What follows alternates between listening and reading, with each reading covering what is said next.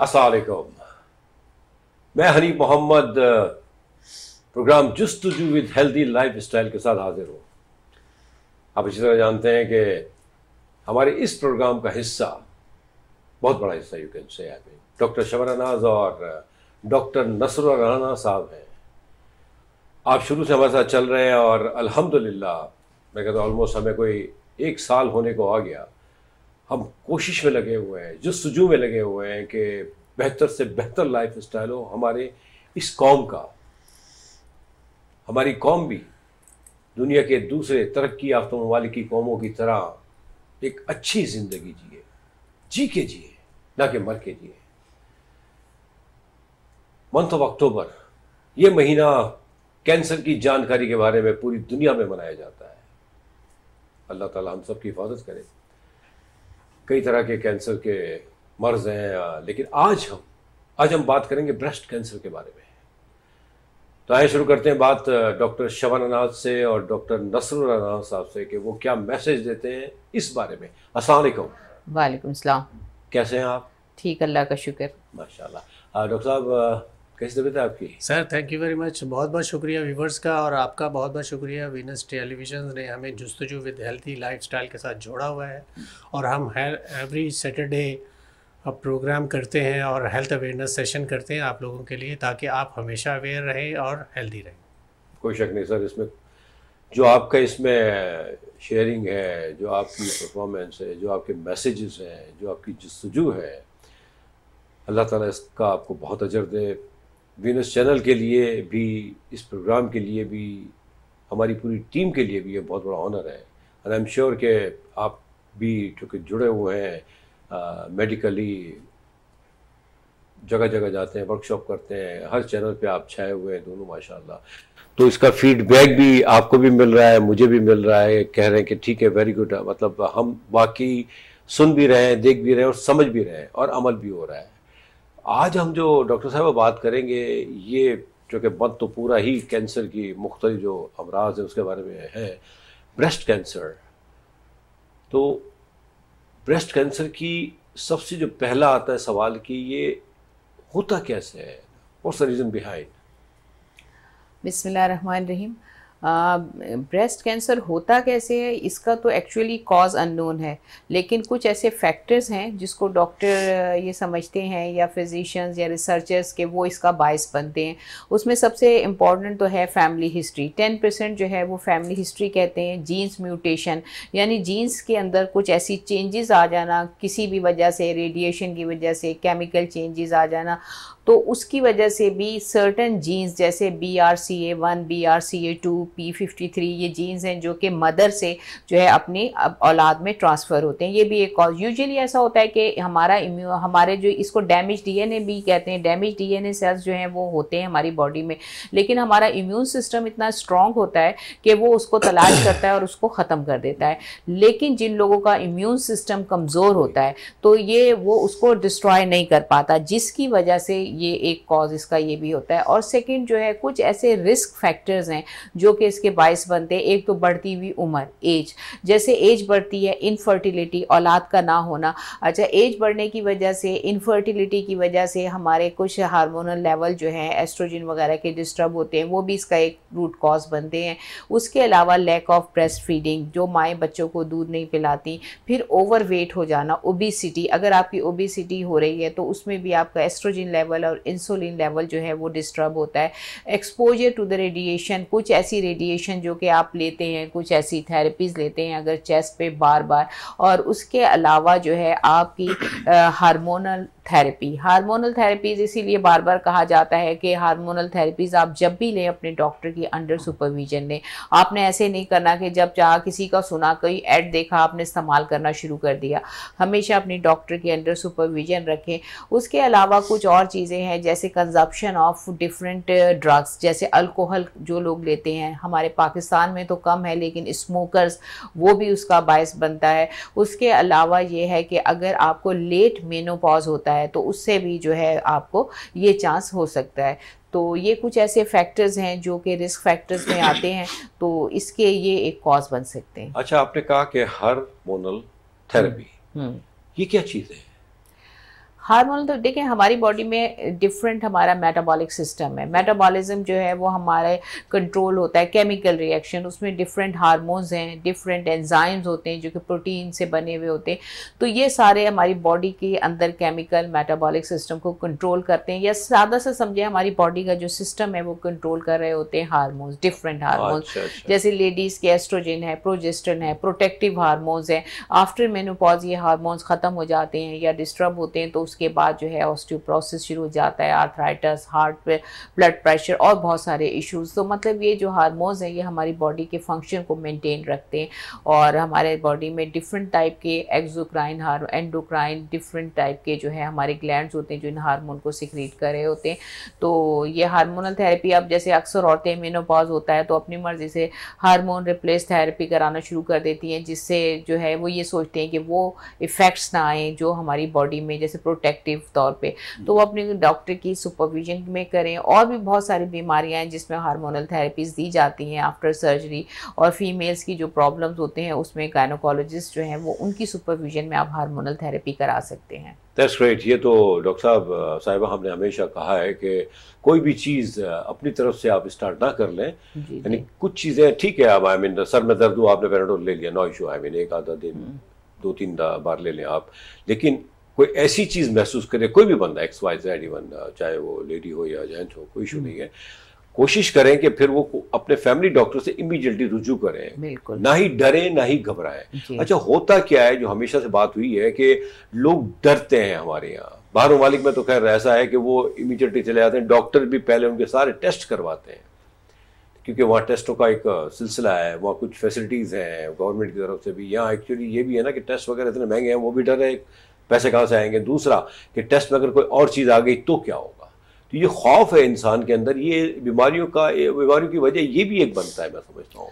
जी हाँ खौफ भी है ये मतलब लैक ऑफ़ एजुकेशन है।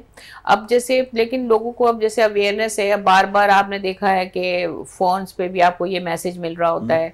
और हम लोग, आप लोग अवेयरनेस जो दे रहे हैं, उसमें भी ये है कि लोगों को अंदाज़ा हो जाता है कि ये टेस्ट जो हैं, इसके ख़ास टेस्ट होते हैं। जैसे मेमोग्राम कहा जाता है कि आफ्टर फिफ्टी जो है औरतों को एक दफ़ा साल में मेमोग्राम कराएँ। और अगर कोई यंगस्टर्स लड़कियाँ हैं, जिनको ऐसी कोई तकलीफ़ फील होती है, कोई गिल्टी फील होती है, हम आगे चल के बताएँगे कि इसमें क्या ऐसी अलामत हैं। वैसे तो इसकी एसिम्प्टोमेटिक इसे कहते हैं, यानी आपको कोई अलामत मिलती ही नहीं है। इसी वजह से ऐसा होता है कि ये कैंसर आगे बढ़ जाता है। और हमें पता नहीं चलता इसमें दर्द नहीं होता लेकिन कुछ ऐसे हॉलमार्क्स हैं या कुछ ऐसे वार्निंग साइंस हैं जिनको देखते हुए जो है वो आप उसके कुछ टेस्ट कराएँ। एक तो मैंने बताया मेमोग्राम कराना ज़रूरी है। सेकेंड जो अगर यंगस्टर लड़कियाँ हैं उनको अगर ऐसा होता है तो उनका अल्ट्रासाउंड होता है। अगर इसमें फाइंडिंग्स मिलती हैं तो उसके बाद फिर जो है अल्ट्रासाउंड गाइडेड जो है वो बायोप्सी फिर हार्मोनल टेस्ट वगैरह होते हैं। और दूसरी चीज़ ये है कि अगर आप पहले डायग्नोज कर लेते हैं अर्ली स्टेजेस में तो प्री कैंसर स्टेज को भी आप डायग्नोज कर लेते हैं और आप उसका ट्रीटमेंट दे के उसको रोक सकते हैं। बिल्कुल सही कहा आपने कि होता यही है नॉर्मली कि अगर वक्त पे तशखीश कर ली जाए टेस्ट के ज़रिए तो क्या है कि वो चीज़ ख़त्म तो खैर वल्ला आलम अल्लाह की तारीफ़ है अल्लाह ताला ख़त्म भी कर दे लेकिन वो एटलीस्ट रोक सकते हैं आप मेरे ख्याल से यही है ना। आपने कहा मेमोग्राम हाँ का टेस्ट आफ्टर फिफ्टी यानी हर साल औरत को करवाना चाहिए एज अ सेफ़ साइड ऐसा ही कुछ कहा ना आपने। देखिए ना ये चीज़ें हैं यही तो मैसेजेस हैं जो मतलब फ्री ऑफ़ कॉस्ट बेलॉज घर बैठे मिल रहे हैं। और क्या चाहिए? मतलब हम अपने तौर से अगर कोशिश करें इन चीज़ों को नोट डाउन करने की और नोट डाउन करके अगर हम इसको फॉलो कर लें तो हम बहुत सी मुश्किलों से बच सकते हैं। बिल्कुल। डॉक्टर साहब अ, चूँकि ये एक औरत रिलेटेड मैटर है लेकिन बींग अ फैमिली मेंबर जो भी आपके नेक्स्ट किन्स होते हैं जो भी आपके करीब के रिश्ते होते हैं शोहर बच्चे बेटियाँ बेटा इन लोगों का क्या किरदार होना चाहिए कि खुदा ना खास्ता, अल्लाह ना करे, अल्लाह ना करे, किसी घर में ऐसा कोई मरीज़ नज़र आ जाता है या उसके साथ ये इशू आ जाता है तो उनका क्या आई मीन किरदार होना चाहिए? हनीफा साहब, असल में चीज़ ये है कि अभी जैसे ज़िक्र किया है कि इन दिनों में जो टेस्ट है मेमोग्राम और दूसरे अदर जो ब्लड टेस्ट होते हैं मैं अपने व्यूवर्स को ये थोड़ा सा बताना चाहूँगा कि क्योंकि ये इस मंथ में आप किसी भी पाकि गवर्नमेंट हॉस्पिटल्स में चले जाएँ ये फ्री ऑफ़ कॉस्ट हो रहा होता है। अच्छा। इसमें कोई पैसे नहीं है आप जाके फ्री ऑफ़ कॉस्ट मेमोग्रामी मेमोग्राफ करा लीजिए और दूसरे टेस्ट ब्लड टेस्ट भी हो सकते हैं। दूसरी बात यह है कि आपने पूछा कि मर्दों का क्या रोल होना चाहिए। सबसे पहले तो ये है कि हमारी जो फीमेल हैं हम एशियंस कंट्रीज़ में रहते हैं हमारी हया और इस इसका जो इम्पेक्ट है हमारी बच्चियाँ जो हैं स्पेशली जो यंग जनरेशन है हमारी और जिनके माँ बाप उनसे बहुत ज़्यादा क्लोज होते हैं वो तो डिस्कस कर लेती हैं माँ बाप को फ़र्ज़ भी बनता है कि माएँ खुद भी Yeah. बच्चों के असेसमेंट के बारे में उनसे डिस्कस करें क्योंकि आजकल वैसे भी जैसे आपने देखा कि अभी मोबाइल पे जैसे डॉक्टर शबाना ने कहा कि मैसेजेस आ रहे होते हैं आप टेलीविज़न पे भी इस तरह के बहुत सारे मैसेजेस आ रहे होते हैं। आप अपने सेल्फ असेसमेंट कर सकते हैं लेकिन सेल्फ सेल्फ असेसमेंट के बाद आपको अगर कोई गुटली फील हुई है तो आप अपनी मदर्स को ज़ाहिर बताएँगे आप अपनी सिस्टर को बताएँगे। लेकिन बच्चे बच्चियाँ डरती हैं। बहुत सारी ऐसी फीमेल्स भी हैं जो अपने हस्बैंड को अपने बच्चों को बताना थोड़ा सा खौफ महसूस करती हैं पता नहीं क्या हो गया। या जैसे भी आपने कहा कि जब वो टेस्ट की तरफ़ चले जाते हैं तो डर होता है कि खुदा न खासा कुछ निकलना है जी जी। तो ये भी एक खौफ होता है। लेकिन हमारे मेल जो हजरात हैं हमारे पेरेंट जो इनके पेरेंट्स हैं बच्चियों के वाल वालदेन हैं या मेल हमारे भाई बहन भाई हैं तो उनको कम से कम ख्याल करना चाहिए कि देखिए अगर कोई खुदा न खासा इस तरह के इश्यूज़ हैं तो उसको इशू ना बनाएँ। उसके ज़ाहिर है उसके लिए डॉक्टर है हमारी मेडिकल टीम होती है तो उसके लिए ज़ाहिर ज़रूर जाएँ और उसका असेसमेंट करवाएँ। खुदा न खास्ता अगर स्टेज वन स्टेज टू में अगर बच्चा है या बच्चा मैं ज़िक्र इसलिए कर रहा हूँ क्योंकि ये मेल में भी होता है। अच्छा। हाँ मेल में भी इसके कुछ केसेस आते हैं। और दूसरी ये है कि फ़ीमेल बच्चियों में अगर आते हैं तो फिर उसमें ये है कि आप उनकी जाके मेमोग्रामी मेमोग्राफ करवा लीजिए मेमोग्राफी कराएँ। फिर उसके बाद ये है कि उनका अर्ली अगर स्टेज होगा तो इजीली उसको एरिडिकेशन हो सकती है और उसका डायग्नोस होके उसको ख़त्म किया जा सकता है। अच्छा डॉक्टर साहब आपने कहा कि ये इस मंथ में ये सारे टेस्ट हमारे जितने भी गवर्नमेंट हॉस्पिटल्स हैं उसमें फ्री होते हैं। तो अदर देन इस मंथ आई मीन क्या मतलब क्या चार्जेस हैं क्या मतलब is it very expensive mammogram test और uh, प्राइवेट हॉस्पिटल्स में तो ये थोड़ा सा कॉस्टली है लेकिन गवर्नमेंट हॉस्पिटल्स में ये memo throughout I mean ये फ्री चल रहा है? फ्री हाँ बिल्कुल फ्री है ये। ज़ाहिर है लेकिन इस मंथ में अच्छा। स्पेशली अच्छा इस- क्योंकि ये हेल्थ अवेयरनेस मंथ है और इसमें स्पेशली जो है मेमोग्राफी और इस ब्लड टेस्ट जो है स्पेशली कैंसर के पॉइंट ऑफ़ व्यू से ये फ्री ऑफ़ कॉस्ट होते हैं। वेरी गुड और क्या चाहिए और मतलब? इसकी तो बाकायदा अवेयरनेस हो रही है हर जगह बाकायदा मेंशन किया जाता है। हाँ लेकिन अ, बिल्कुल सही बहुत अच्छी बात की आपने। हो सकता है कि इसकी भी अवेयरनेस ना हो कॉम को। क्योंकि देखें ना हम तो नॉर्मली लोग प्राइवेट में ही जाते हैं ऐसा ही हो रहा है ना। तो गवर्नमेंट में अगर ये फैसिलिटी अवेलेबल है और कोई शक नहीं हमारे गवर्नमेंट के भी हॉस्पिटल्स बेहतर से बेहतर हो रहे हैं। अब ज़ाहिर बात है, चीज़ें ख़राब हुई हुई हैं, उनको ठीक करना इतना आसान नहीं होता, लेकिन ऐसा नहीं है कि कुछ भी नहीं है। ये नहीं कह सकते हम। शर्त ये कि हम भी तो जाके तरीके से रहें वहाँ पे। हम जाके वहाँ हंगामा शुरू कर देते हैं। कहते हैं हम आए तो हमें चेक कर लो आप, छोड़ दो बाकी को। तो ये इश्यूज़ जो है ना, ये थोड़े से मैं समझता हूँ कि कौम को समझना चाहिए। अपनी बारी का इंतज़ार करें, सुकून से रहें। दुनिया भर में बड़ी एक डिसिप्लिन होती है। ठीक है ना? ये जगह पे हॉस्पिटल्स में एटलीस्ट मैं नहीं समझता कि कोई भी घूमने जाता है। ये एंजॉय करने जाता है एक चीज़ है कि इसमें असल में जब कैंसर की बात आती है ना तो कैंसर के पॉइंट ऑफ़ व्यू से जब पेशेंट को पता चलता है कि उसे खुदा न खास्ता कैंसर है तो वैसे ही वो पैनिक हो जाती है फैमिली तो उसमें वो अपना एटीट्यूड थोड़ा सा उनका चेंज हो जाता है लेकिन हमारी जो डॉक्टर्स हैं जो टीम है वो बहुत ज़्यादा हेल्पफुल होते हैं। और वो ज़ाहिर है कि सिचुएशंस को समझते हैं उन्हें पता है कि पेशेंट डिस्टर्ब है तो वो उस पॉइंट ऑफ़ व्यू से उसी तरह उसको ट्रीट कर रहे होते हैं। लेकिन फिर भी अगर आपका रवैया इतना सख्त है पेशेंट की पॉइंट ऑफ़ व्यू से बता रहा। हूँ। तो फिर भी आपको ख्याल करना है क्योंकि आप ट्रीटमेंट आपका होना है। अगर आप सही रवैया नहीं रखेंगे तो आपका ट्रीटमेंट सही नहीं होगा। वेरी नेचुरल डॉक्टर साहब होता ये है कि देखें वैसे तो अल्लाह ना करे ये बहुत बड़ी बीमारी है और बंदा वाकई थोड़ा सा हमें खुद ही तो कंट्रोल करना है ना सर। देखें चीज़ तो हो गई ना। अब अगर उसको पैनिक करेंगे तो और भी बीमारियाँ बढ़ सकती है। ब्लड प्रेशर आपका शुगर बढ़ गया ना आपके इससे। ये चीज़ें कहाँ से क्रिएट होती है? बंदा बस ठीक है अल्लाह से दुआ करें और दुआएँ जो है ना वो तो तकदीरें बदल देती है। बजाय कि हंगामा करना और अपने इर्द गिर्द के लोगों को भी डिस्टर्ब करना तो मैं समझता हूँ वो बेहतर नहीं है। अच्छा यहाँ एक छोटा, आज तो मेरी बारी आ गई। यहाँ एक छोटा सा ब्रेक लेते हैं। आप ठीक है, आप सही इंजॉय कर रहे हैं। ब्रेक के बाद इंशाल्लाह हम कंटिन्यू करते हैं और इस पर मज़ीद जो भी जानकारी आपकी तरफ़ से मिलेगी, हम उसको आगे बढ़ाएँगे। तो प्लीज़ जुड़े रहिएगा हमारे साथ अकॉर्डिंगली हमेशा जो है ना हम कोशिश करते हैं कि जो दिन आगे पीछे चल रहे हैं, जो बीमारियों के बारे में दुनिया जहाँ में जानकारी दी जा रही है, हम भी आपकी तरफ़ पहुंचाएँ। डॉक्टर शवन अनाज और डॉक्टर नसरुल्ला राना साहब के वैल्यूएबल मैसेजेस के ज़रिए तो कहीं जाइएगा मत, एक छोटे से ब्रेक के बाद हम हाजिर होते हैं। थैंक यू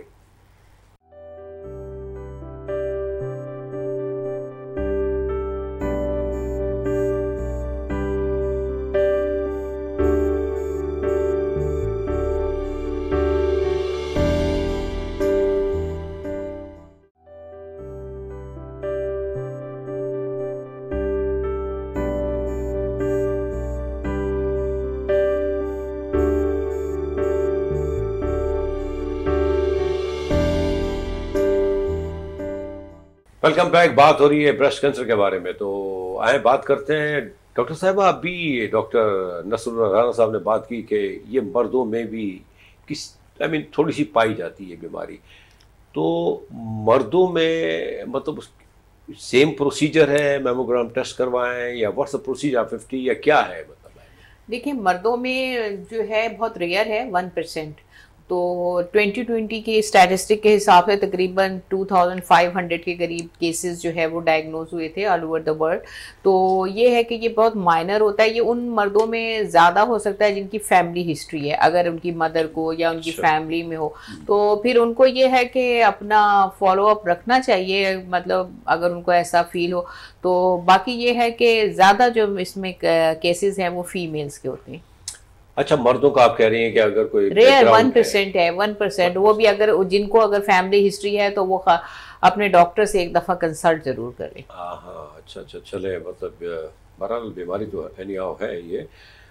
जो बात आप कर रहे थे कि ज़्यादातर जो ये ब्रेस्ट कैंसर जो है मीन अगर लेडीज़ की तरफ़ देखा जाता है तो old age you mean after fifty में ज़्यादा ये अटैक होता है इसका।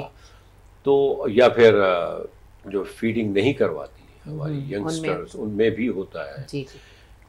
तो ये देखें ये कुदरती अमल है जिसको इग्नोर किया जाता है फ़ीड ना करवाना। बिल्कुल। और ये बड़ा नुकसानदेह मामला है। आई मीन हमारे बच्चियों को इन चीज़ों को देखना चाहिए। मतलब आजकल एक फिटनेस का जो सिलसिला चल पड़ा है बिला वजह का ना एक्चुअली उससे कोई इसका कोई कंसर्न नहीं है मैं समझता हूँ। अगर आप फिट करवाएँगे तब भी you will remain fit I mean depends on you I mean I understand तो आप क्या कहती हैं कि ये क्या मतलब ये तरीके तरीकेकार क्यों हो रहा है? क्यों कर रही हैं हमारी बच्चियाँ ये? देखिए, बच्चियाँ ठीक है, कुछ लोग करते होंगे फिटनेस का, लेकिन आजकल जो लड़कियाँ हैं, ज़्यादातर वर्किंग वुमेन हैं। और जब बच्चियों को इतनी ज़ाहिर है हमारे यहाँ तीन महीने की हमें मेटर्निटी लीव मिलती हैं।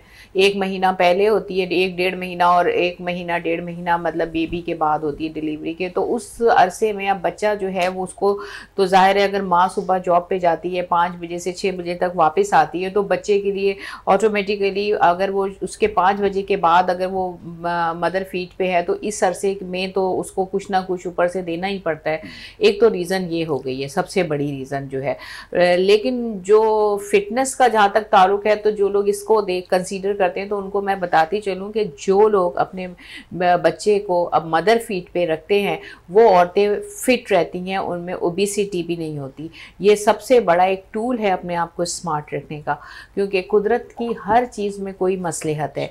दूसरा फिर आपका के बच्चे के साथ जो है अटैचमेंट और रिलेशनशिप जो है, वो मज़बूत होता है। Exactly. तो ये बहुत इंपॉर्टेंट है और फिर इसकी एक उम्र है, सिर्फ़ दो साल तक हमारे इस्लाम में है। तो दो साल मेडिकली भी कहते हैं, उसके बाद तो आप फ्री हैं। तो कोशिश यही करें कि जो मदद अगर फिटनेस के लिए भी करती हैं जो मेरा ख्याल है इतना मेरी नज़र से नहीं गुजरा, लेकिन मेरी नज़र से जो लोग गुजरे हैं, वो वो गुजरे हैं जो कि जॉब करती हैं औरतें। उनकी मजबूरी हो जाती है। आपने बहुत अच्छी बात की। वाकई, क्या बात है। अल्लाह के हर मामले में बहुत सारी मसलहतें हैं। बेतहाशा। और देखें ना अगर आप फ़ीड करवाती है अगर एक माँ तो वो बाउंडिंग जो रिलेशन है ना और ज़्यादा स्ट्रांग होता है। बिल्कुल। मतलब चीज़ें ये बाज़ाहिर इतनी वो नहीं लगती हमें लगता है कि बड़ी नॉर्मल सी है ठीक है क्या हुआ नहीं करवाते तो। वर्किंग लेडी का आपने कहा ठीक है ये एक थोड़ा सा रीज़न है लेकिन उनको भी तवज्जो इस तरफ़ ज़्यादा ही देनी चाहिए जब वक्त से आ गई आगे तो फिर कोशिश करें कि वो इस चीज़ पे ज़रा ज़्यादा तवज्जो दें ताकि देखिए रिश्ता बनता ही बिगनिंग से ये बुनियादें हैं एक तरह से देखी जाए। सर वो मैं आपसे पूछ रहा था कि अगर ऐसी कोई चीज़ हो जाती है घर में या कोई ऐसी आई I मीन mean, हमारी कोई खातन या खातून इस मर्ज से मुंसलिक हो जाती हैं तो जो एक मेजर जो आई मीन हस्बैंड का जो किरदार होता है देखिए ना सारी बात ये तो बीमारी है हमें भी हो सकती है उन्हें भी हो सकती है तो हमें इनको आई मीन डीमोरलाइज नहीं करना चाहिए था आपने कहा कि मतलब इनको मतलब खुद भी पैनिक नहीं कर लेना चाहिए था उनको भी रिलैक्स रखना चाहिए। तो इस सिलसिले में हमारा मजीद बेहतर किरदार क्या हो सकता है कि वो इस बीमारी को भूल ही जाए थोड़ी देर के लिए? नहीं बीमारी को तो नहीं भूलना चाहिए। हाँ। वो इसलिए कि अगर बीमारी को भूल जाएँगे तो फिर तो ज़ाहिर है ट्रीटमेंट नहीं हो सकता। बात यह है कि आपने फस- पहले ही स्टेज में इसको जैसे ही डायग्नोज हो गया आपने सेल्फ सेल्फ असेसमेंट कर ली तो आपने डॉक्टर के पास जाना है। डॉक्टर आपका टेस्ट करवाएगा। अगर डॉक्टर समझता है मेमोग्राम कराना तो वो कराएगा। खुदा न खासा अगर मेमोग्राम में अगर कोई ऐसा इशू नहीं है लेकिन अगर फिर मेमोग्राफी जो है वो अल्ट्रासाउंडिंग गाइडेड या आपके जो बायोप्सी गाइडेड अल्ट्रासाउंड भी होते हैं। तो फिर उससे पता चल जाता है कि भाई आपको खुदा न खासा कैंसर है या नहीं है। लेकिन अगर फ़र्स्ट स्टेज पे सेकंड स्टेज पे पता चल जाए तो इसके रिज़ल्ट बहुत अच्छे हैं सर्वाइविंग के। लेकिन अगर आप थर्ड और फोर्थ स्टेज में चले जाएँ तो फिर इसकी सर्वाइवल रेट कम हो जाते हैं। उसमें भी ज़ाहिर बहुत ज़्यादा चांसेस होते हैं, लेकिन बात यह है कि पहले ही, शुरू में ही इसको पकड़ लिया जाए। असल चीज़ यह है कि आपस की अंडरस्टैंडिंग जो फीमेल और मेल की अंडरस्टैंडिंग है ना ये डिपेंड करती है कि आप कितनी अर्ली डॉक्टर के पास चले जाते हैं। अगर आपकी अंडरस्टैंडिंग नहीं है आप देखें ना कि हम अक्सर बात करते हैं कि हस्बैंड वाइफ जो है, वो अंडरस्टैंडिंग ही नहीं होती उनकी। जब अंडरस्टैंडिंग नहीं है तो आप अपने अंदर जो पलने वाली एक तकलीफ़ है, वो कैसे आप अपने हस्बैंड से शेयर करते हैं? और कभी कभी हमारी फैमिलीज़ में ये होता है कि कोई बात नहीं, ऐसी दर्द हो गया होगा, खिंचाव आ गया होगा, बहुत काम किया है, खड़े होकर कोई काम कर रही हैं, गर्दन में तकलीफ़ होने की वजह से भी आपको कभी कभी सामने की तरफ़ प्रेशर आ रहा होता है। आपके पॉस्चर की वजह से भी कभी कभी प्रेशर आ रहा होता है।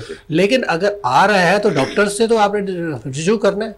जो मस्कुलोस्केलेटल डिसऑर्डर अगर है आपको तो अब मसल से रिलेटेड फिजियोथेरेपी डिपार्टमेंट वाले या आपके न्यूरोमस्कुलर वाले तो वो आपको ट्रीट करते हैं। आप उनके पास जाके बता सकते हैं कि अगर कोई प्रॉब्लम है।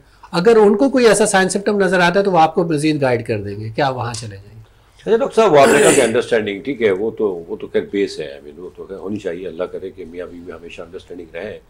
लेकिन खवातीन भी दरअसल शोहरों को डर, बताते हुए जैसे आपने ही कहा आपने भी कहा डरती है मतलब आई मीन वाइफ वो भी डरती हैं। अच्छा उसके भी कई वजूहत हैं। एक उनको खुद को भी खौफ होता है कहीं कोई चीज़ बढ़ के ना निकल आए। दूसरा वो थोड़ा सा ख्याल भी रखती हैं कि क्या चलो ठीक है ऐसे हो गया होगा। लेकिन क्वेश्चन ये है कि क्या ये डर ये डर क्या होना चाहिए? देखिए ना अगर बीवी बताएगी नहीं तो मर्द कैसे उसको आई I मीन mean, आगे ले जाएगा किसी डॉक्टर के पास या राय देगा या मशवरा देगा? ये कहते ना तो खैर अक्सर होता है कि ठीक है यार ऐसे दर्द हो गया होगा ये दवाई ले लो। ये अक्सर हम हस्बैंड्स भी अब जान छुड़ाने के चक्कर में होते हैं। तो हमें भी केयर करना चाहिए कि हम भी मतलब अगर ये चीज़ देखें या महसूस करें या कोई रवैये में थोड़ा सा आपको पता है ना फील भी हो जाता है। अगर बंदा ऐसा होता है तो हम भी इंटरेस्ट लें बींग हस्बैंड आई मीन लेकिन हेड ऑफ़ द स्टेट हमें भी ख्याल रखना चाहिए कि भाई मतलब हम इजी ना रहें हम न्यूट्रल ना रहे हम हमें ये है कि ठीक है ये कुछ गड़बड़ हो रही है इसको देखा जाए फ़ौरन। क्या कहते हैं इसके बारे में आप? हेल्थ अवेयरनेस के प्रोग्राम जितने हम लोग करते हैं आप भी इसका हिस्सा हैं। तो इससे बहुत ज़्यादा अवेयरनेस तो आई है लोगों में। लोग इस आप समझने लगे हैं हम हमारे प्रोग्राम भी देखते हैं। लोग हम दूसरे भी प्रोग्राम आ रहे होते हैं बहुत सारे डॉक्टर्स चैनल्स पे बात कर रहे होते हैं। तो हम डिफरेंट पॉइंट ऑफ़ व्यू से डिफरेंट डिज़ीज़ के बारे में हम हेल्थ अवेयरनेस प्रोग्राम कर रहे होते हैं तो लोग अवेयरनेस तो ले रहे हैं लेकिन कहीं जहाँ पे अब बहुत सारे फैमिलीज़ ऐसी हैं जहाँ टेलीविजन्स रखना भी मायूब समझा जाता है। फिर रेडियो के फॉर्म में वहाँ अवेलेबल है। लेकिन हमारी बच, बच्चियों की या माओ की रसाई नहीं होती टेलीविज़न तक या इस तरह तो उनको नहीं पता। जैसे हमारे लो लाइन एरिया है अपर एरिया है हमारा तो वहाँ अगर खुदा न खासा इस तरह का कोई प्रॉब्लम है तो वो किससे डिस्कस करेंगी? क्योंकि डॉक्टर भी दूर दूर है फिर और बड़े बड़े जो हॉस्पिटल्स हैं वो उनकी पहुँच से काफ़ी दूर है। तो वहाँ तक अवेयरनेस प्रोग्राम जाना एक बहुत ज़्यादा उनको अवेयरनेस होना ये थोड़ा सा एक क्वेश्चन मार्क है।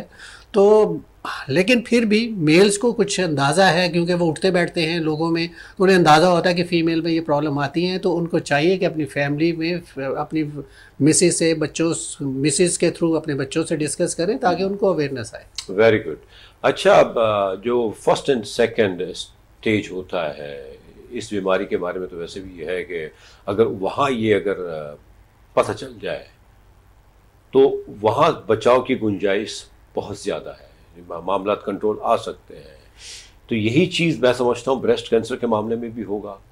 तो अगर पहले या दूसरे स्टेज पे क्या ऐसा होता है जैसे अक्सर कागे ऑपरेट करवा लिया गया है या ऑपरेट कर दिया गया है समथिंग तो इस पर ज़रा रोशनी डालें प्लीज़ देखिए इसके फोर स्टेजेस हैं। Stage one stage two stage three and stage four stage one and two early stages हैं। स्टेज थ्री एंड फोर जो है वो एडवांस स्टेजेस हैं। अच्छा।, अच्छा अब अगर आपका स्टेज वन या टू वन में अगर आपकी डायग्नोसिस हो जाता है तो उसमें जो चांसेस होते हैं रिकवरी के वो 98 टू 99 परसेंट है। और स्टेज टू में होते हैं तो आपके एटी टू 85 परसेंट होते हैं। और अगर आप एडवांस स्टेज में चले जाते हैं स्टेज थ्री में तो उसमें भी आपके chances sixty two sixty five stage three के हैं। और अगर आप स्टेज फोर जिसे मेटास्टेसिस स्टेज भी कहते हैं, उसमें भी आपके चांसेस 20 टू 25 परसेंट हैं।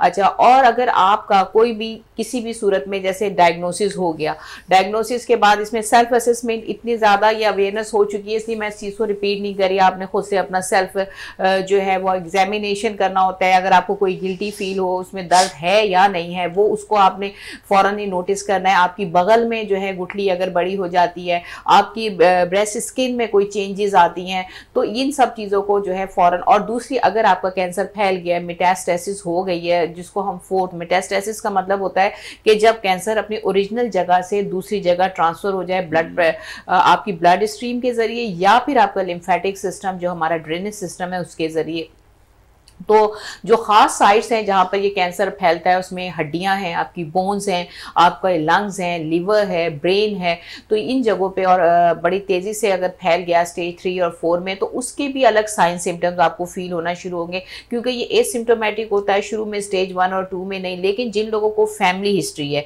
तो वो तो हर वक्त अपने आप को इस उसमें रिस्क पे रखें और अपना एग्जामिनेशन हाँ, करा हाँ। के रखें दूसरे वो लोग जो जिनको इनफर्टिलिटी है जिनकी औलाद नहीं है वो लोग भी हाई रिस्क पे होते हैं, उन्हें भी अपने आप को चेक कराते रहना है। तीसरी वो माएँ जो कि ब्रेस्ट फ़ीड नहीं नहीं कराती वो, और चौथे वो लोग जो कि बहुत ज़्यादा मोटे हैं वेट है तो उनके हारमोन्स डिस्टर्ब होते हैं। तो ये कुछ ऐसी वार्निंग साइंस है, जिन लोगों में है वो फ़ौरन ही जो है वो इसको अपने आप को फॉलो अप पे रखें, क्योंकि आजकल ये चीज़ें इतनी अवेयरनेस होगी दूसरा, आप बिला जवाज हर प्रोग्राम में हम ये कहते हैं कि बिला जवाज रेडिएशन का एक्सपोजर जो है वो गलत है। बिला जवाज आपने M R I C T scan x-rays ये सारी चीज़ें आप जब कराएँ, जब आपका डॉक्टर रिकमेंड करे, अपनी मर्ज़ी से बिल्कुल ये चीज़ें नहीं करनी। और दूसरी चीज़ एक है कि अगर आपका फ़र्स्ट स्टेज है तो या सेकेंड थर्ड या फोर्थ जो भी स्टेज है आपने ट्रीटमेंट का पूछा, इसमें फ़र्स्ट लाइन ऑफ़ ट्रीटमेंट जो है वो सर्जरी है।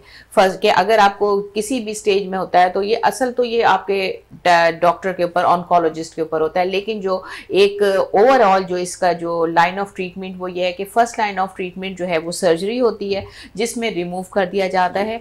वो लम्प या फिर जो सर्जरी होती है मेस्टिक्टोमी उसके भी टाइप्स होती है। सिंपल सिंपल सर्जरी होती है, जिसमें रिमूवल ऑफ़ ब्रेस्ट होता है। सेकेंड फिर उसके अलावा कई कई टाइप है मॉडिफाइड रेडिकल मेस्टेक्टोमी है जिसमें कुछ टिश्यूज निकाले जाते हैं आ, एक, आपकी एक्जिला से लिम्फ नोड्स निकाली जाती हैं यानी फ़र्स्ट लाइन ऑफ़ ट्रीटमेंट आपका सर्जरी होता है। सेकेंड लाइन ऑफ़ ट्रीटमेंट जो है वो कीमोथेरेपी है। कीमोथेरेपी में आपको मेडिसिन दी जाती है इंजेक्टेबल फॉर्म में मेडिसिन की फॉर्म में जो जाके आपके कैंसर सेल्स के ऊपर एक्ट करती हैं और उनकी ग्रोथ को डिस्ट्रॉय करती हैं और श्रिंक करती हैं। थर्ड लाइन ऑफ़ ट्रीटमेंट जो है वो आपकी रेडिएशन है। रेडिएशन में जब वो आपकी ग्रोथ कम हो जाती है लोकलाइज्ड हो जाती है तो वो रेडिएशन से उसको ख़त्म कर दिया जाता है। उसके बाद जिन लोगों को कुछ ऐसे कॉजेज़ होते हैं हार्मोन की वजह से होता है तो उनको कुछ ऐसी मेडिसिन दी जाती हैं जो उनको कई अरसे तक, पाँच से दस साल तक जो है वो खानी होती हैं।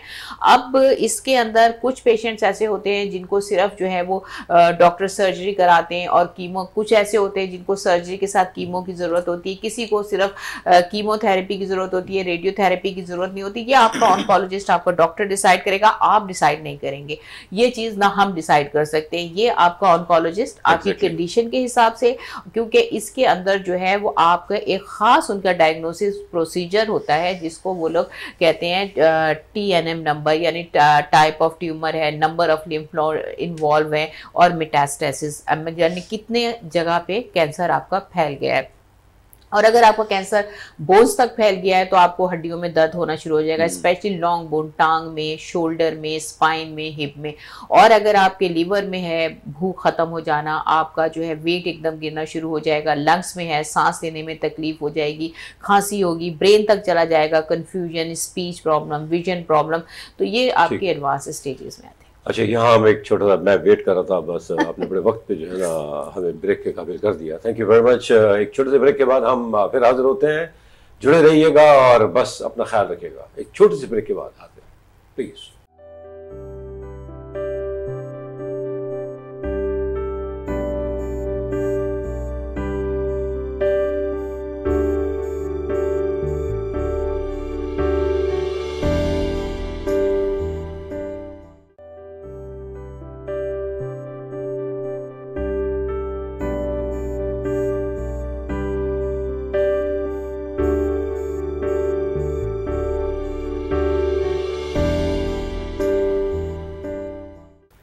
welcome back.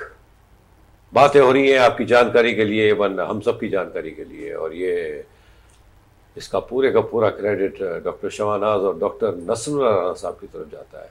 रियली बहुत बड़ी बात है। और वीनस चैनल के लिए भी वीनस चैनल ने हमेशा कोशिश की है कि बेहतरी हो, हर शोबे में। इनका हर प्रोग्राम अपनी मिसाल आप है। तो प्लीज़ वीनस चैनल को भी देखते रहिएगा, हमारे प्रोग्राम को भी देखते रहिएगा और फीडबैक देते रहिएगा। जी डॉक्टर साहब आपने तीन चीज़ें मुझे अभी यहाँ मुझे क्या सबको बताई आपने कि देखिए जिनकी फैमिली हिस्ट्री है इस बारे में जो फ़ीड नहीं करवाती और एक और चीज़ थी जो आपने बताई। ओबेसिटी वेट का बढ़ जाना। वेट का बढ़ जाना। हाँ। अच्छा इनको वक्तन फ वक्तन टेस्ट करवाते रहना चाहिए। ऐसा ही कुछ है ना? आ, ये तो हो गई तीन चीज़ें हैं मतलब इसके अलावा अगर मतलब अभी हाँ, स्मोकर है अल्कोहल लेने वाले उनको भी अवॉइड करना चाहिए। उनके अंदर भी चांस हो सकते हैं। मतलब ज़्यादातर इन लोगों पे ये बीमारियाँ जो ना अटैक करती है। मतलब ये फैक्टर्स हैं। ये वो वजूहत हो सकती हैं वो अवामिल हैं जो असरअंदाज होते हैं इसकी हम्म। मतलब बढ़ने पे। अच्छा। अच्छा डॉक्टर साहब आपने बात की थी कि ये मर्दों में भी कुछ चीज़ें कभी कभी पाई जाती हैं जो कि इन्होंने कहा कि वन परसेंट है सिर्फ़ ये तो इसमें मैं समझता हूँ ज़्यादातर वही बात आ रही है कि ये अल्कोहल या फिर paan gutkha cigarette something like this ऐसा ही कुछ है? देखिए हनी मोहम्मद साहब मसला ये है कि फैमिली हिस्ट्री तो अपनी जगह है। कुछ चीज़ें लेकिन कुछ चीज़ें ये है जैसे डॉक्टर शबाना ने शुरू से शुरू में कहा कि हमारी इम्यूनिटी जो है हम्म। वो अगर स्ट्रॉन्ग है तो बहुत सारी बीमारियों से आप बच सकते हैं। जैसे इन दिनों में आप हमने फेस किया कोरोना को। हम देखते हैं तो फिर आप देखें पोलियो है है? इम्यूनिटी हमारी अगर कंप्रोमाइज़ होती है तो ये सारी बीमारियाँ जैसे आज का डेंगी बहुत ज़्यादा था और है भी। फिर ये सारी चीज़ें जो इम्यूनिटी अगर कंप्रोमाइज़ है तो फिर आपकी ये सारी बीमारियाँ आपको घेर लेती हैं। अच्छा अगर वो कमज़ोर है तो? कमज़ोर तो? है तो। फैमिली हिस्ट्री अपनी जगह है। लेकिन वो लोग जिनकी फैमिली हिस्ट्री नहीं है वो भी अगर इन्वॉल्व होते हैं इसका मतलब है उनकी इम्यूनिटी कंप्रोमाइज़ है। हम्म। ठीक है ना? पहले तो ये बात है। दूसरी बात यह है कि एक फैमिली हिस्ट्री होती है। आपको आपके ब्लड से मिला आपकी मदर से मिला। प्लस ये है कि फिर आपकी डाइट ऐसी है। आपको अगर फैमिली से नहीं भी मिला डाइट ऐसी है। फॉर एग्जांपल आजकल बहुत ज़्यादा जंक फ़ूड लेते हैं। फास्ट फ़ूड हाँ फास्ट फ़ूड लेते हैं। दूसरी ये कोल्ड ड्रिंक और चिकन स्पेशली इससे अवॉइड करना चाहिए बहुत ज़्यादा नहीं लेना देखिए बैलेंस डाइट ये सबसे ज़्यादा ज़रूरी है। बैलेंस डाइट जो लेते हैं जो अपनी वॉक और अपनी एक्सरसाइज का ख्याल रखते हैं उनमें फिर भी कदरे ये कम रिस्क होता है। Exactly. तो अगर आप हेल्दी लाइफस्टाइल अपनाएँगे जैसे हमारा प्रोग्राम का नाम ही है जस्तुजु विल हेल्दी लाइफस्टाइल अगर आप हेल्दी लाइफस्टाइल अपनाएँगे एक्सरसाइज करेंगे आप इम्यूनिटी इम्यूनिटी आप अपनी स्ट्रांग रखेंगे तो डेफिनेटली आपको इन बीमारियों से लड़ने के लिए ज़्यादा से ज़्यादा बॉडी आपकी जो है ताकत कर सकेगी बिल्कुल एग्जैक्टली तो बहुत बहुत सारी हमारी गज़ाएँ हैं जिसके थ्रू हम इम्यूनिटी को स्ट्रॉन्ग कर सकते हैं विटामिन डी का हम हमेशा ज़िक्र करते हैं। ये और हरे पत्तों वाली सब्ज़ियाँ जैसे डॉक्टर शुबाना हमेशा कहती हैं कि आप इन सब्जियों का आप अपनी डाइट का एक हिस्सा बनाएँ। सीजनल फ्रूट्स हैं सीजनल वेजिटेबल्स हैं। और आप देखें गोश्त छोड़ें ना गोश्त खाएँ क्योंकि वो प्रोटीन आपकी बॉडी बिल्डिंग का काम करती है। हम्म। वो भी आपकी बॉडी के लिए बहुत ज़रूरी है। और आपकी इम्यूनिटी को वो स्ट्रॉन्ग भी करता है। आप फ़िश लें अपनी बॉडी बहुत ज़्यादा ज़रूरी है इम्यूनिटी के लिए। आप देखिए असल चीज़ तो ये है कि हम बैलेंस डाइट लेंगे तो हम स्ट्रांग रहेंगे वॉक करेंगे एक्सरसाइज करेंगे तो हम बहुत ज़्यादा ऐसी बीमारियों से बच सकेंगे। बचेंगे। आप बहुत अच्छी बात की और डॉक्टर साहब हमेशा हमने बात की है कि ये सॉफ्ट ड्रिंक ये तो खैर बहुत ही खतरनाक है कई मैसेजेस भी आते हैं। और हमारे बच्चों में फास्ट फ़ूड का भी आपने ज़िक्र किया ये भी एक बड़ा एक अजीब सा एक मामला शुरू हो गया है। इनको घर का खाना या सब्ज़ी में तो इंटरेस्ट होता ही नहीं है। इमीडिएटली कोई ना कोई बर्गर ऑर्डर कर दिया या उसके बाद फिर अच्छा चलो ये तो आ गया। ये भी एक at the end of the day ज़्यादा किसी भी चीज़ का खाना क्योंकि डिसबैलेंस है ना फिर उसके बाद आपने कोल्ड ड्रिंक पी ली सोने में सुहागा। यानी हम सब अपना बेड़ा गर्क कर रहे हैं पैसे दे के अनबिलीवेबल और बाद में उसको ठीक करने के लिए मजीद पैसे देना। सही बात तो इस बारे में बताएँ कि कित मतलब हमारे पास दस मिनट ही रह गए हैं लेकिन दस मिनट से चार पाँच तो हम खा गए देखिए अब पाँच छह मिनट है तो आ, आ, बिल्कुल वो मैं बस तेज आप बिल्कुल इजी को बताएँ। आपके पास ऊपर आप ही का है। अच्छा देखिए इसमें सबसे अहम चीज़ है कि डाइट की जैसे डॉक्टर साहब भी बात करते थे डाइट में जो है बिल्कुल वेजिटेबल्स है। इसका एक फॉर्मूला डॉक्टर्स बताते हैं कि आपने इसमें ग्रीन येलो ऑरेंज। ये तीन कलर्स जो हैं बहुत इंपॉर्टेंट हैं। कैंसर से बचाव के ग्रीन में आपने ग्रीन वेजिटेबल्स ले ली और येलो में जैसे आपकी येलो सब्ज़ी आपने देखा पेठा होता है वो भी येलो होता है। और उसके अलावा ये कि फ्रूट्स में सिट्रस फ्रूट जो है जैसे ऑरेंज है आपका।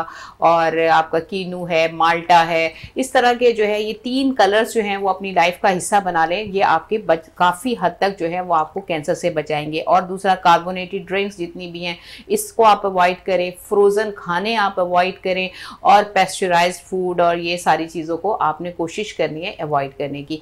अच्छा उसके बाद जो ये सारी डिस्कशन हमारी हो रही है, ये हो रही है प्री कैंसर उसके बाद आपका कैंसर से पहले क्या करना है डायग्नोज कैसे करना है, मैं थोड़ा सा आपको बताऊँगी कि लाइफ आफ्टर कैंसर कि आपका कैंसर डायग्नोज हो गया, आपका कैंसर ट्रीट हो गया, आपकी सर्जरी हो गई, उसके बाद जो है आपका जो प्रोसीजर्स होते हैं मेस्टेक्टमी जो हमारे पास मेजोरिटी ऑफ़ पेशेंट जो केसेस आते हैं, वो वो केसेस आते हैं, जिनके अंदर दो प्रॉब्लम्स बहुत ज़्यादा मिलते हैं। एक तो मिलता है लिमिटेशन ऑफ़ मूवमेंट यानी आपकी मूवमेंट्स लिमिटेड होगी सर्जरी होती है तो आपका जो स्कार है, वो जो है, उसकी टाइटनेस होती है, जिसकी वजह से चेस्ट वॉल जो है, उसकी एक्सपेंशन में प्रॉब्लम होता है, उसकी वाइटल कैपेसिटी में प्रॉब्लम होता है। शॉर्टनेस ऑफ़ ब्रेथ भी बास पेशेंट्स में ये नोट किए, क्योंकि ओल्ड पेशेंट होते हैं, ज़ाहिर है मसल्स की फ्लेक्सिबिलिटी जो है, वो डिस्टर्ब हो जाती है। शोल्डर मूवमेंट डिस्टर्ब हो जाती है नेक पेन है टिंगलिंग सेंसेशन बर्निंग सेंसेशन आने लगती है फिंगर में मस्कुलर पेन ये दो चीज़ें बहुत अहम है। और दूसरी आती है लिम्फडीमा लिम्फडीमा का मतलब है आपका पूरा हाथ जिस साइड की जो है सर्जरी हुई है उस साइड का आपका पूरे हाथ में सोजन होती है। हम्म। इतनी सोजन होती है कि पेशेंट को डिस्कम्फर्ट होता है पेन होता है लिमिटेशन ऑफ़ मूवमेंट तो इन दोनों के लिए सबसे इंपॉर्टेंट चीज़ है कि आपके अपने डॉक्टर फिजियोथेरेपिस्ट के पास जाएँ। वो आपको बताएगा जो मूवमेंट है शोल्डर की मूवमेंट है चेस्ट की मूवमेंट है उसके अलावा जो बर्निंग पेन गर्दन का पेन है ये सब क्योंकि मसल कटता है नर्व्स बीच में कट जाती हैं तो उसके वजह से भी बहुत सारे मसाइल होते हैं तो उसके लिए आपका ट्रीटमेंट होता है डिफरेंट पोजिशन होती हैं डिफरेंट एक्सरसाइजेज होती हैं। उसमें डिफरेंट टेक्निक्स है न्यूरोडायनमिक्स है सॉफ्ट टिश्यू मोबिलाइजेशन है मैनुअल थेरेपी है इलेक्ट्रोथेरेपी या मोबिलिटी एक्सरसाइजेज हैं। ये तो एक अलग सेशन सेकेंड सेशन जो होता है, वो होता है लिम्फडीमा के लिए। लिम्फडीमा के लिए जो ट्रीटमेंट दिया जाता है आफ्टर सर्जरी तो जो होता है, वो अलग है, लेकिन उसके बाद जो है seventy to fifty to seventy percent जो केसेज हैं यूरोप और ऑस्ट्रेलिया में जो ट्रीट किए जाते हैं लिम्फडीमा के, वो क्या ख़ास किस्म का ट्रीटमेंट है जिसे कहते हैं complete decongestive therapy complete decongestive therapy इसमें चार सेशन दिए जाते हैं हफ़्ते में एक घंटे के और इसके दो इसके स्टेजेस होते हैं। उन दो स्टेज में एक इंटेंस स्टेज होता है और एक जो है वो उसका मेंटेनेंस स्टेज होता है। इंटेंस स्टेज का मतलब ये होता है कि फौरी तौर पे जो है, जब आपके फ्लूड भर गया आफ्टर सर्जरी तो उसको आपने ड्रेन करना होता है। उसमें कुछ कंपोनेंट्स हैं, उसमें कंप्रेशन बैंडेजेस होती हैं मैनुअल लिम्फेटिक ड्रेनेज है और स्किन केयर है। तो उसमें हम जो जो इंटेंस फ़ेज़ होता है, उसके अंदर ख़ास किस्म की कंप्रेशन बैंडेज बनती हैं, जो कि चौबीस से तेईस घंटे तक, यानी तेईस घंटे आपने बांधनी है। सिर्फ़ एक घंटे के लिए उनको खोला जाता है ताकि स्किन की केयर कर सके। और बात वगैरह ले सकें। उसके बाद दूसरा स्टेज है वो मेंटेनेंस स्टेज है। मेंटेनेंस स्टेज में आपने जो है कंप्रेशन बैंडेजेस कंप्रेशन मोजे या गारमेंट्स जो मिलते हैं वो पेशेंट को बताया जाता है। उसके साथ कुछ एक्टिविटीज़ कुछ एक्सरसाइजेस कर बताई जाती हैं ताकि वो जो है आप कर सकें आपका दर्द ख़त्म हो। क्योंकि इसमें लिम्फ अडीमा इसलिए होता है कि हमारे लिम्फ नोट्स निकाल दिए जाते हैं जो छन्नी का काम करते हैं। और लिम्फेटिक सिस्टम हमारी बॉडी का ड्रेनेज है हमारी बॉडी का फ्लूड ड्रेन करता है। तो जब आपकी लिम्फ निकल जाती है तो तो वो ड्रेनेज सिस्टम स्लो हो जाता है जिसकी वजह से आपके हाथों पे सोजन होती है। जजाकल्ला जजाकल्ला what a knowledge really what a knowledge बहुत बहुत बहुत शुक्रिया। रियली अभी टाइम अलाउ नहीं कर रहा वरना मैं समझता हूँ अभी बहुत सी चीज़ें हैं जो आप कहना चाह रही थी आई एम वेरी सॉरी हम कोशिश करेंगे इसको थोड़ा सा हम अगले प्रोग्राम में भी कंटिन्यू करें क्योंकि ये बड़ी इंपॉर्टेंट चीज़ें हैं। Thank you very much doctor Shabana Naz thank you sir doctor Nasar साहब हमेशा की तरह। आप हैं तो ये प्रोग्राम में चार चाँद लगे हुए हैं। अल्लाह ताला इसी तरह हमारा सिलसिला चलाता रहे बहुत बहुत शुक्रिया आपका जुड़े रहने का। क्या बात है नॉलेज देखें आप और ये आपको बेलॉस मिल रही है। तो प्लीज़ इसको फॉलो करें। इन ताला खैर आफियत है, अपना बहुत ख्याल रखें। अगले प्रोग्राम में एक और अच्छे टॉपिक के साथ मुल्क और कौम की बेहतरी के लिए बात की जाएगी। अल्लाह ने के बाद